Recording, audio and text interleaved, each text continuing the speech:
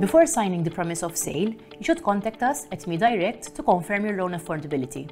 We will ask you for your ID card, 3 months payslips, FS3 and any information regarding existing monthly commitments. Once the promise of sale has been signed, we will need a copy of such documentation and updated bank statements.